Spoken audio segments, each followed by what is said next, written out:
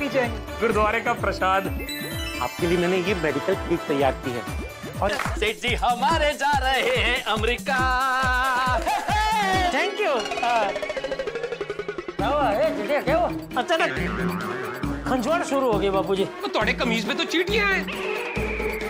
दोस्तों ऐसे ही सभी सीरियल की शॉर्ट वीडियो देखते रहें और मेरे चैनल के साथ बने रहे।